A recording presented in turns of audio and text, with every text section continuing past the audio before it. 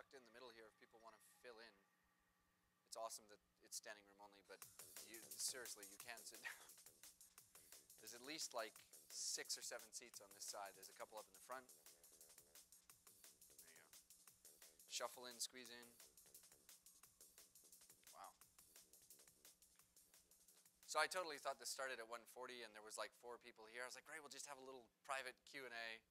No, I have to give the talk now. Um, how many of you saw me speak two hours ago? Okay. How many of you know who I am? Are the same people? All right, that's not helpful. Um, my name is Joshua McKenty.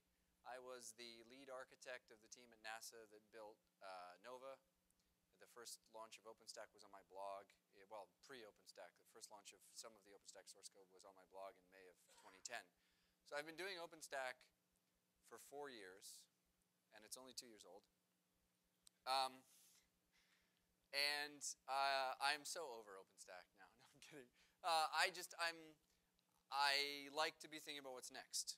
And I gave a talk in July at OSCON, which I borrowed some of these slides from.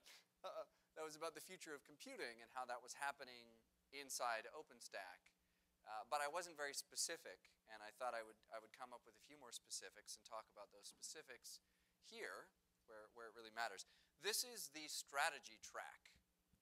And uh, I like the strategy track because it means I get to sort of say whatever I want. I don't have to prove it. Um, it's a strategy. No, the, uh, I've, I've started using the term paracloud to refer to um, breaking down the wall between infrastructure as a service and the things that happen above it. In the sense that paravirtualization is when the guest is aware that it's inside a hypervisor. And you get way better performance, right? Because you, you can do all the right things. But the guest can't know that unless the hypervisor tells it. So this is it's a funny tension is to take advantage of paravirtualization, you need drivers in the guest, but you need support in the host. And to take advantage of paracloud, you need to change everything in your infrastructure as a service layer so that the things that happen above it can take advantage of those changes. But to know what we need to change, we actually need a conversation between those two communities. And so that's really the strategy behind this idea is that those two communities need to start to talk to each other. Um, when I talk about performance, I am not talking about efficiency. I generally hate the idea of efficiency. Those of you who have heard me speak before, I always use this quote.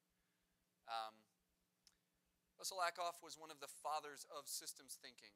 And the idea behind systems thinking is that in a complex system, the behavior of the whole system is much more dependent on the relationships between the components than the performance of any single component. Put another way, we, if we spend all of our time optimizing a single component of OpenStack, OpenStack as a whole will get worse, not better. We need to optimize the connections between those components. We need to focus on the right things, doing the right things, instead of doing things in the right way. All right, so this idea of cloud-aware applications or breaking down the wall between, let's say, platform as a service or infrastructure orchestration or automation First off, why do we want this at all? Why would this be a good thing? Then what are the challenges in achieving it, and what is our strategy to, to overcome those challenges? It's a very boring format for a talk, um, but this is the only slide that will make any sense, so that's okay. We'll, we'll still have a good time. Uh, for those of you who were there this morning, uh, I did emphasize that I always offend somebody anytime I open my mouth. And so I try and be an equal opportunity offender. I will try and offend all of you rather than just a few of you, for which I do not apologize. All right.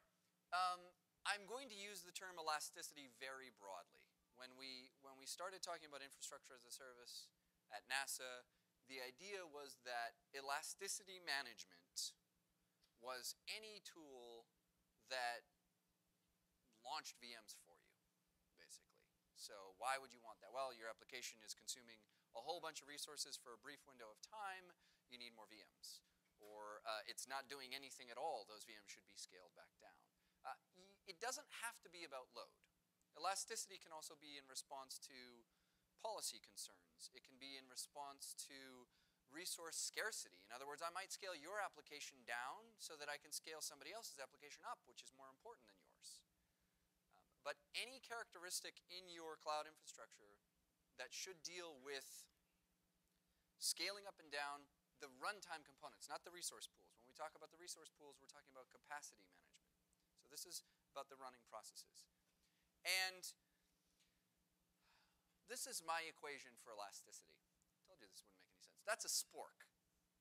Just for those of you who are not keenly aware. The best thing about a spork is you only have one. You have taken two utensils, and now you just have one utensil. So when you're camping, sporks are perfect.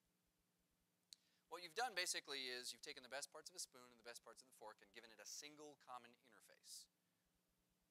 When we talk about elasticity management across a set of resources, what we're really talking about is generalizing the metaphor for those resources and their resource allocation in the same way that a spork generalizes the metaphor for a utensil. So we take a spork and we combine it with webhooks. That is the webhooks logo. Most people who are not familiar with that logo, you should memorize it. It is going to become more and more important.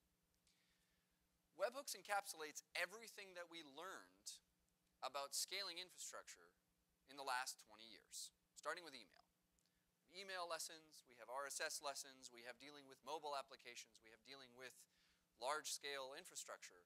And what we learned is that push is better. Generally speaking, polling is expensive and retarded. It, it ah, I did this in OSCON too. I'm sorry. Um, the I, I, I, will apologize for what I said in, in OSCON, which was to use the term retarded in the mechanical sense of it is slowed down. It is at throttle at low. So polling produces a whole bunch of traffic for zero results most of the time. It's like a guaranteed cache, cache miss. Push notification is, hey, the notifying instrument knows that something has happened. That is the only time notification goes out. Webhooks is based on the idea of using push notification as a basic primitive in systems design. That's what it's for. If you combine this idea of reducing the abstractions, getting to a common interface, with this idea of push-based notification, you end up with the platform for elasticity. That's a, a very complicated way of, of talking about this, so let me, let me come to some different metaphors. We'll attack this one statement in a lot of different ways. Um, I will use an example. When I was in Europe, shortly after the OpenStack launch, we were building uh, a large cloud system for modeling earthquakes at a global scale. And the one thing that no one had been able to do before with earthquake modeling was this thing called spatial correlation. It's really a way of figuring out if there's an earthquake that affects this whole city, and we have a lot of damage on this side of the city, or we're going to have less damage on the other side of the city. Are these two spatial relationships correlated, and how? And what variables control that? Earthquake science is chopped into two parts. There's the hazard calculation, which is how much does the ground shake, and the risk calculation, which is how many buildings fall down. Different groups of scientists, different communities, different conferences, different pieces of source code. And the challenge was, in order to do spatial correlation, we had to add features to the hazard calculations that the only people who benefited from were the folks doing the risk calculations. We had to get those two communities to talk to each other. We're the first people to do it.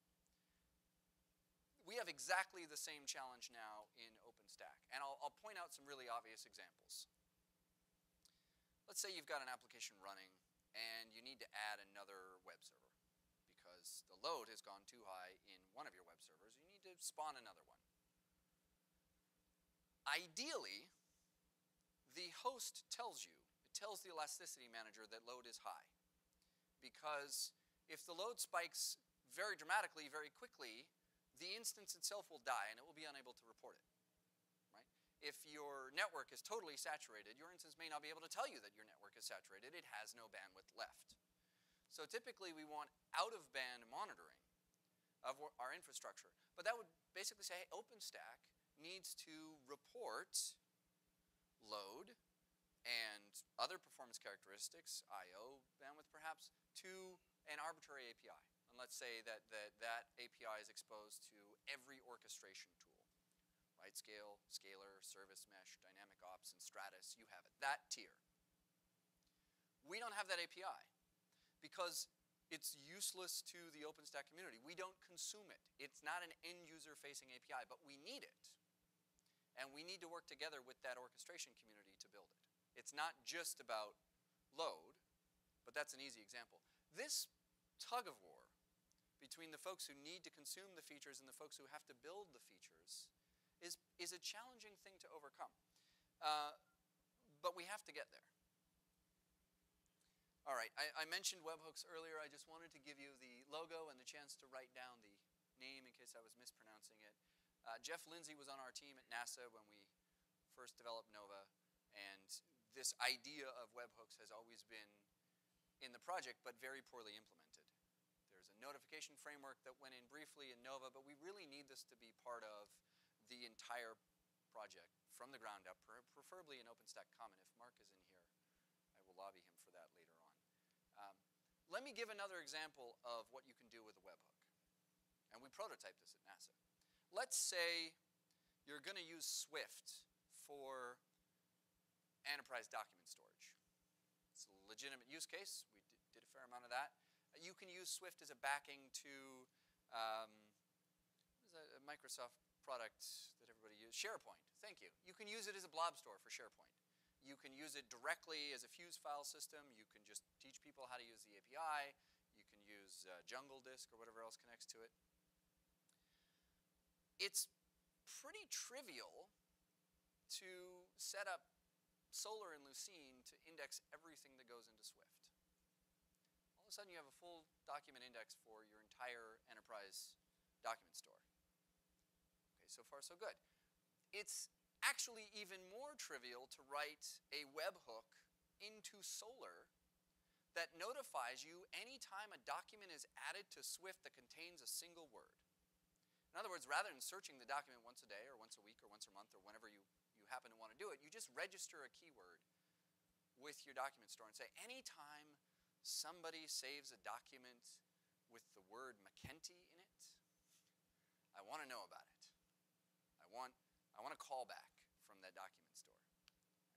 That should be a feature of Swift. The same sense that anytime someone launches a instance from a disk image that I created. Maybe I've put together, I don't know, Vision Workbench. I wrote some cool software for processing images and I've made it accessible to the whole company, but I'd love to know when somebody uses it. I can get a callback. Callbacks are fun.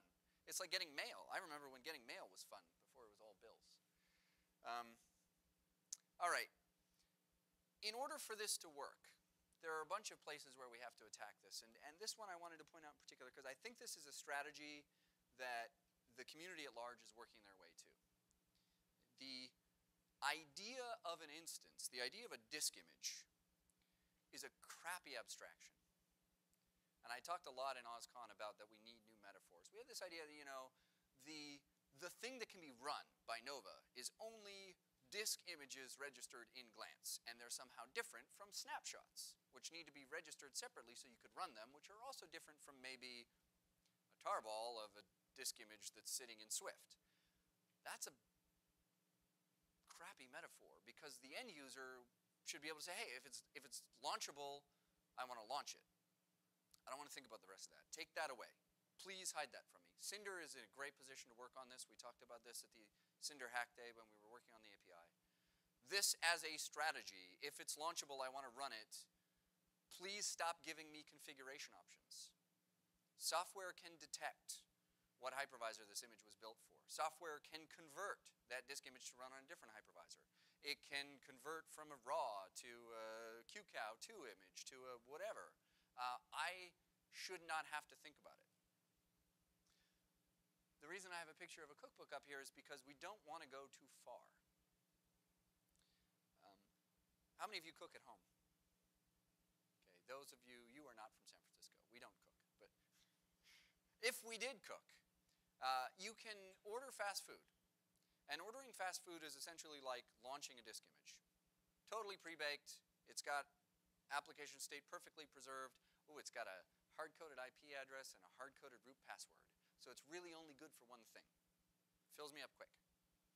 If you go the far extreme, you end up as Betty Crocker or Julia Childs, and you make your own hollandaise sauce. In fact, you go out and you cut down the wheat, and then you grind it in a hand cranked grinder, and you make your own flour, and eventually you get this perfect. It takes you like six weeks to make breakfast.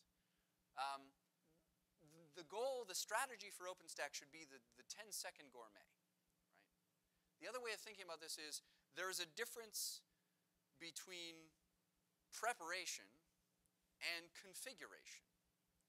And if you look at the tools we have in the ecosystem today, we have Puppet, we have Chef, we have Juju, we have, uh, I don't want to leave anyone out. Is anyone missing a configuration management tool of choice? CFEngine? Nobody laughed. Wrong crowd. Uh, Crowbar, thank you. Crowbar is a little different. Crowbar, and this is where we get into trouble. Crowbar is being used for hosts, not for guests. So I'm talking about the guest. What are we running in Nova? And the problem is we have the same set of tools for preparing those images as we do for configuring them at runtime. They're two different processes. Getting an application server stood up with Tomcat on it and you know, a bunch of WAR files downloaded maybe and, the security patching that has to go into making it something I can run inside my enterprise, that's a different process from that last 10 seconds of boot time where I really want to make sure it's up to date and I want to make sure it's got the right IP address and I want to make sure it's connected to the right auth server. There are a number of people in the community who have been attacking this problem from different angles. Yahoo, blueprints for runtime metadata. How do we actually get a communication channel between the guests and the OpenStack infrastructure that works in both directions and that is reasonably secure. So we inherited the metadata approach from AWS. It's not secure. It assumes any user who has access to the VM is an administrative user because it's an unsecured HTTP GET. Right? It, uh, it's not read-write, so there's no way to use that to pass information back to OpenStack. Um, but it's got promise. Is HTTP. It is in the right place. It does solve this how do we communicate between guest and host. We have to be able to do that in a way that's agnostic to the hypervisor we're using. So this idea of gourmet I'm going to come back to in a minute. I, I, I know, I can see in your eyes, everyone's thinking that this is a solved problem. They're like, oh, we do that with agents. The problem with an agent, it's like a 007 agent problem with a secret agent is they always turn on you. You ever seen a 007 movie where somebody doesn't get turned? It happens in every film, right? An agent is a rootkit. My co-founder Christopher MacGown is famous for having said that at the Austin Summit, the first OpenStack Summit, the first technical session, the first thing out of his mouth is that agents are rootkits. But it's true. So if we're going to have rootkits in our cloud, let's maybe be really, really careful about how many of them, which vendors do they come from, what part of the infrastructure are they really. So we come back to this, how do we solve this, this push-pull, this tug-of-war between the infrastructure and the orchestration layer? We trust the infrastructure in a way that's probably appropriate. It's the bare metal, right? Um, there are blue pill attacks and other things we should be worried about, and we continue to work on them. But we should trust the infrastructure to tell us the state of our guests in ways that perhaps agents are not the best way to do. Now, we're never going to get to an agentless world. I just want you to think about that. And every time you install an agent in your guest, think of it as 007. Right? What are the chances that at some point he will kill you? All right. On that security front, by the way, DreamHost, if there's anyone from DreamHost in the room, has been working on the other end of that metadata challenge, metadata communication challenge, which is you know, read-write metadata blueprints from the Yahoo side. From the DreamHost side, it's how do you actually create a secure channel at the launch of an instance? And I know Canonical solved this ages ago. It's, called a CD. It's called ISO 9660. Because at least we have ACLs on that inside the operating system. We can use that, and this is this blueprint's been done. There's config drive that was landed. But we, as a strategy, as a community, we haven't looked at this. How do these pieces fit together to solve this problem? All right. Actors. There are a lot of actors in cloud computing.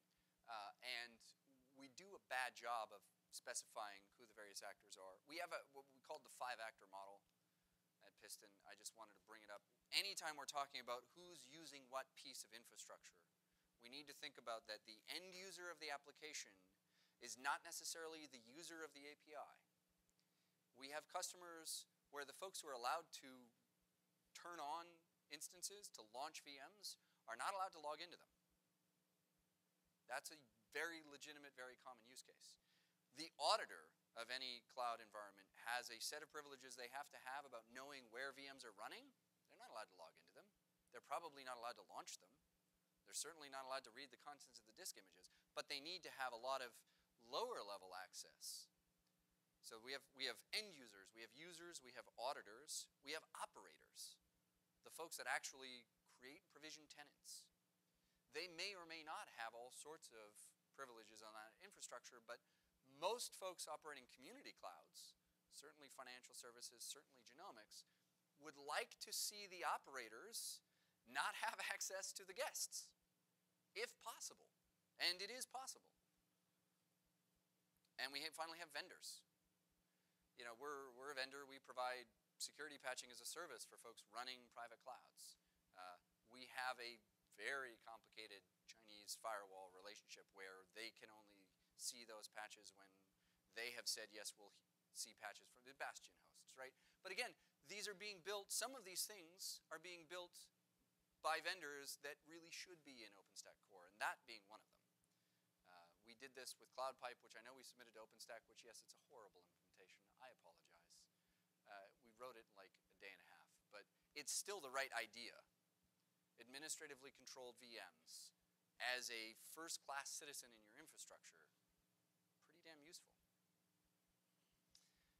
All right. Um, the other thing I want to emphasize here, and I emphasize this in OSCON, and I, I want to come back to this, it's, it's part of the underlying philosophy for the OpenStack community is a posture of humility. We have not got a single thing right to start with. Not a single thing, right? But we, what we do is we're iterating towards good through a series of smaller and smaller mistakes. Um, it is worth pointing out that handguns, tequila, and OpenStack are all, roughly speaking, from Texas. That's credit to Mark Collier. I don't believe that handguns are from Texas.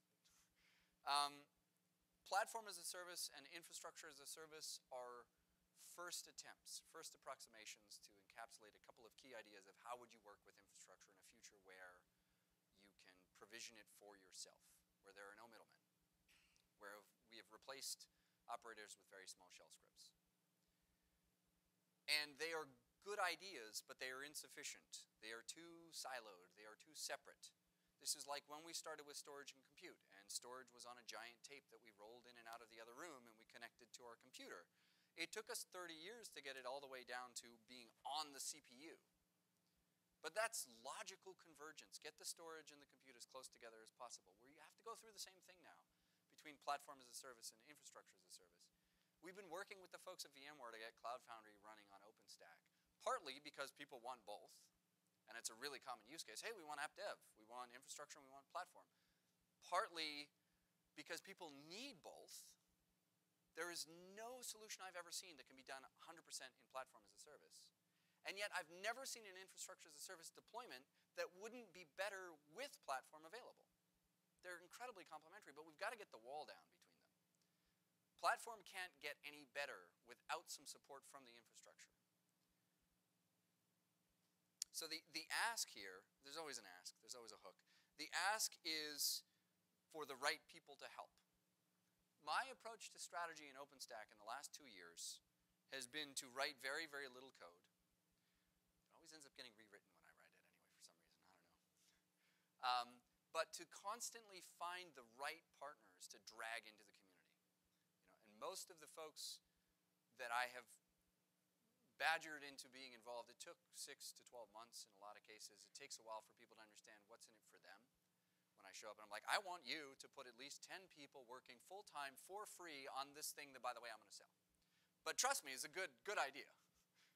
Um, we've got a lot of the right partners now. Some of them are engaged, some of them are not deeply enough engaged. So I'm really this is a this is a shout out to the orchestration community specifically. Chef guys, the puppet guys, the right scales, the enStratuses, the service meshes, the dynamic ops, the scalers. Please stop fighting over the host. Like we get another version of another set of recipes for deploying OpenStack on the bare metal okay? You're not contributing value. The guest is lonely out here. Let's focus on the guest. And by the way, there's like a hundred times more guests than hosts. I don't know if you did the math, but like there's way more of them. Uh, there's a lot. So we need this community to work together. We need the orchestration folks to tell us what the API should look like. We know they need one. And we really need federated auth really need it in a way that Keystone is a great framework. It is not the tool that we need. I know Tim has been talking about what CERN's done, Active Directory. There are other folks presenting on SAML today. Uh, I have been pestering Microsoft and Centrify and Okta and others to get involved because they have the expertise in auth that OpenStack needs. If we try and reinvent single sign-on, we will shoot ourselves in the foot so badly. Um, it has been done. Uh, so those folks are willing to come and help. We need to give them, we need to help them help us. All right, so my, and again, the strategy in the strategy session is to find the right people who can be press ganged into building this thing and then try and communicate not at the detail, what needs to be built, but at the vision, the problem we're trying to solve.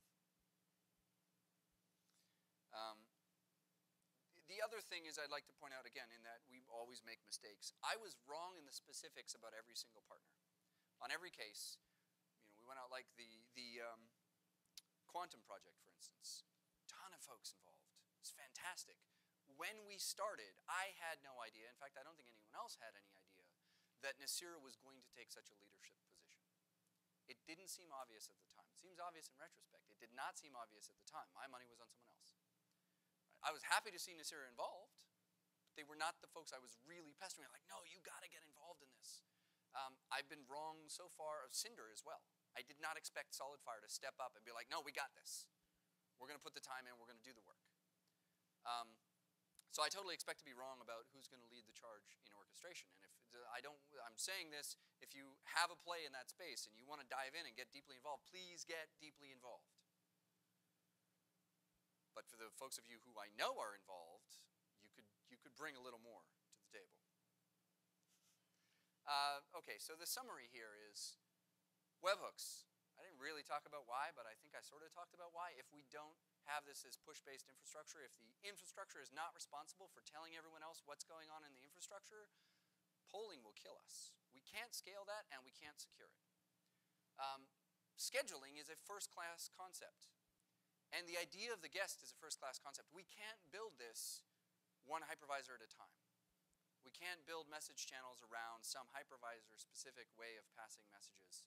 We can't build this around a deployment specific method of scheduling resources or launching more resources. We need these to be very general ideas. That's one I threw in there just because I'm, I'm addicted to it. Location, placement of, of data, relationship between storage and compute, it is so central to what we're trying to do with OpenStack. It is still such a second-class citizen. It's a really hard problem. Um, it would be fun to get some folks who really understand data locality to help out in common. Let's not do this in Cinder. Let's not do this in Swift. Let's not do this, weirdly enough, in Nova. Let's do this in OpenStack Commons so we have one general approach to these problems. And then we launch all the things. Okay. Um, this is going to take a while. Strategy means I'm usually like five years off in my time estimates. I thought we would be done with OpenStack in like, you know, late 2010. You know, I'm sewed up. How hard can it be? When we launched OpenStack Nova, it was like 6,000 lines of code. I think the code base of the whole thing is one and a quarter million I, that's mind boggling. Uh, so this will take a while, but I think this is the right direction. It seems like if we get this right, like there's no point in having any other kind of infrastructure. Time for a couple of questions. I can tell that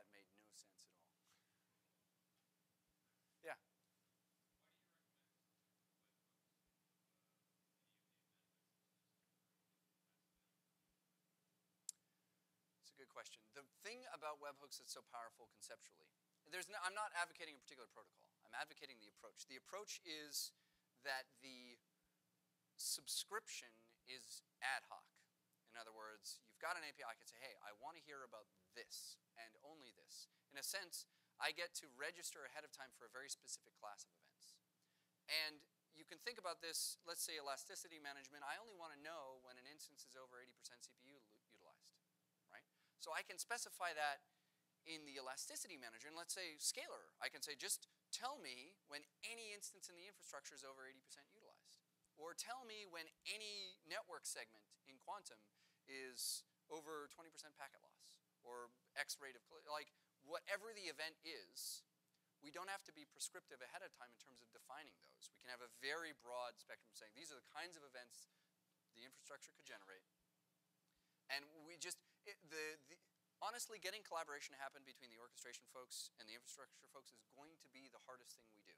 So if we get that as generic as possible the first time through and we let both sides build on it for as many iterations as it takes to get to something great, later on it will be easier to refine.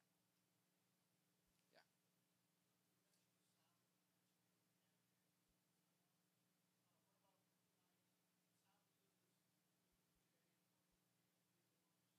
Sure. So the questions about SAML, I wasn't in. I wasn't um, endorsing it. I was just mentioning there was a talk about it today scheduled. So somebody's done a SAML, SAML implementation for Keystone.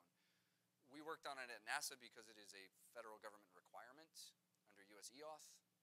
Uh, it is a very heavyweight protocol. Um, there's a so Lew Tucker and, and a bunch of other folks, we had dinner recently and argued about the fact that nobody has done better than, than X509, than, than LDAP. We've been trying to make better single sign-on at the protocol level, at the concept level, for 20 years. OpenID, OAuth, SAML, like, is, most of the solutions are adjacent to the problem. They're not actually a central, they, they haven't attacked it squarely. So let's just work with LDAP. It's the best thing we got, we'll just make it work. I mean, how many of you have dealt with Active Directory in your life? That's, yeah, most people in the room. Was there one other question? No. All right, well, thank you very much. I know it's right after lunch, so I'm glad you stayed awake.